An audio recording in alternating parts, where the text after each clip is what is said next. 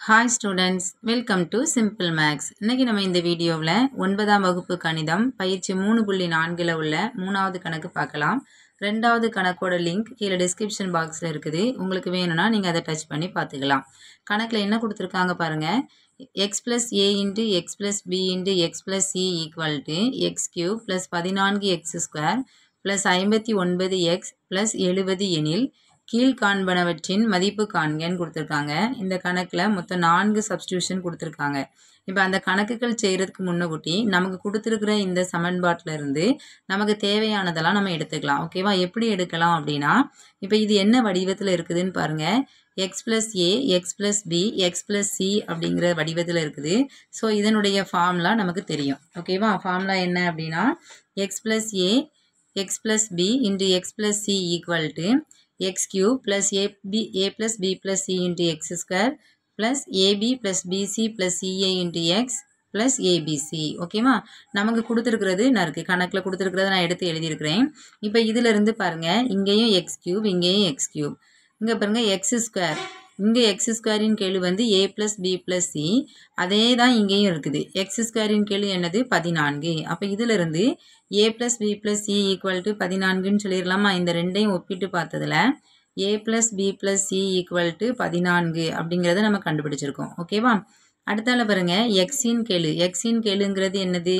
Ab plus bc plus ca இதனுடைய மதிப்பு என்ன அப்படின்னா இது எக்ஸின் கெழு அப்போ இங்கே எக்ஸின் கெழு எனது ஐம்பத்தி ஒன்பது.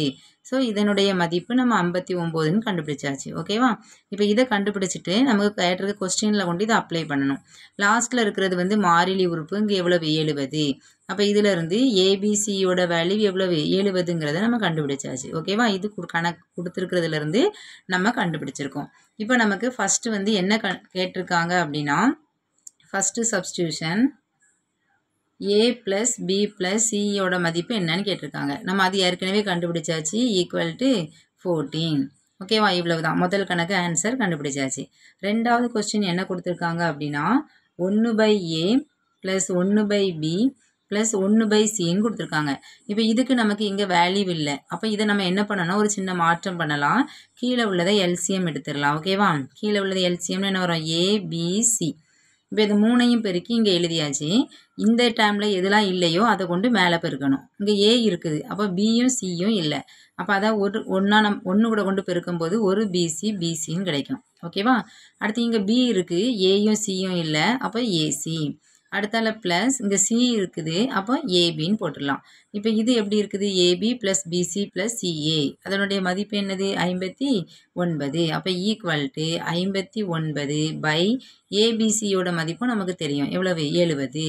ஓகேவா ஸோ இதுதான் இதனுடைய ஆன்சர் ஒன்று பை ஏ ப்ளஸ் ஒன்று பை பி ப்ளஸ் ஒன்று பை சியோட மதிப்பு என்னது? ஐம்பத்தி ஒன்பது பை எழுபது.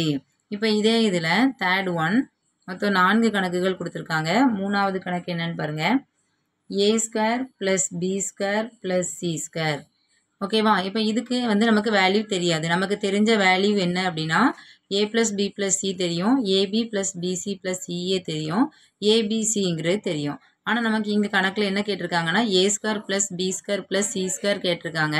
இப்போ இதை வச்சு நமக்கு ஒரு ஃபார்முலா தெரியும். என்ன ஃபார்முலா பாருங்கள் a plus b plus c the whole square equal to a square plus b square plus c square plus 2ab plus 2bc plus 2ca ஓகேவா இப்போ இதில் a square b square c square தான் நமக்கு கேட்டிருக்காங்க.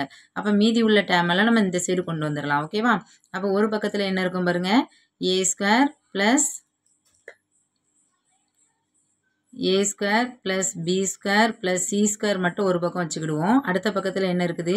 A plus b plus c the whole square இங்கே இருக்கிற dam எல்லாத்தையும் இந்த சைடு கொண்டு போகிறோம் அப்போ என்ன வரும்? Minus two ab minus two bc minus two ca ஓகேவா இப்போ equal to a plus b plus c the whole square இந்த டேர்மில் இருந்து மைனஸ் வெளியில் எடுத்துடலாம். ஒரு ரெண்டும் வெளியில் எடுத்துடலாம். எடுத்தோன்னா மீதி என்ன வரும்? இங்கே மைனஸ் ரெண்டு எடுத்தோன்னா ஏபி வரும். மைனஸ் வெளியில் எடுத்தாச்சு அப்போ ப்ளஸ் ரெண்டு வெளியில் எடுத்தாச்சு அப்போ பிசி வரும். அதே மாதிரி மைனஸ் ரெண்டு வெளியில் எடுத்தாச்சு அப்போ ப்ளஸ் சிஏன்னு கிடைக்கும். ஓகேவா இப்போ நமக்கு இதுக்கு வேல்யூ இருக்குது ஏ ப்ளஸ் பி ப்ளஸ் சிங்கிறது என்ன அப்படின்னா பதினான்கு. ஏபி ப்ளஸ் பிசி ப்ளஸ் சிஏங்கிறது ஐம்பத்தொம்போது.